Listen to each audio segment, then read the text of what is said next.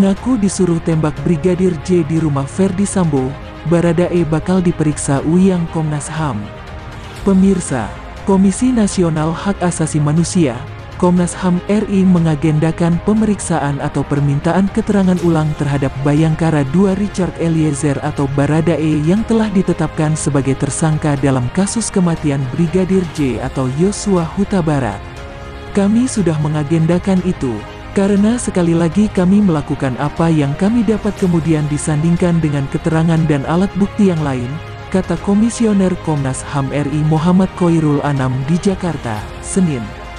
Koirul Anam menjelaskan keterangan atau bukti-bukti yang diperoleh Komnas HAM butuh pendalaman sehingga pemeriksaan ulang terhadap pihak yang diperiksa termasuk Baradae Nasih dibutuhkan.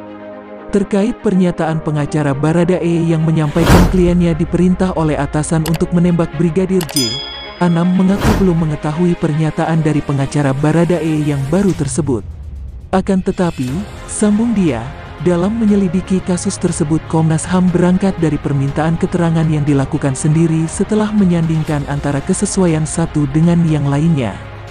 Khusus hari ini, kata dia, Awalnya Komnas HAM mengagendakan suatu kegiatan namun terpaksa ditunda karena adanya perkembangan kasus kematian Brigadir J dalam beberapa hari terakhir ini.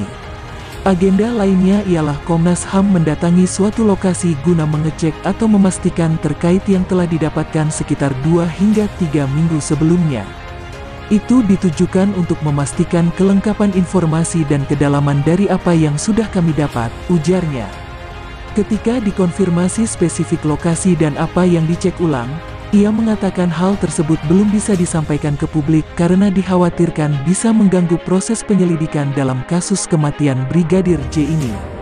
Kita sudah kirim tim, sudah komunikasi agar kami mendapatkan konfirmasi lebih detail terkait dua atau tiga minggu lalu yang kami dapatkan, jelasnya.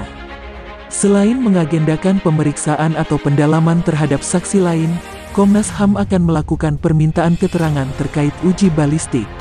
Sekian informasi yang dapat kami sampaikan, semoga bermanfaat, sampai jumpa di video berikutnya, terima kasih.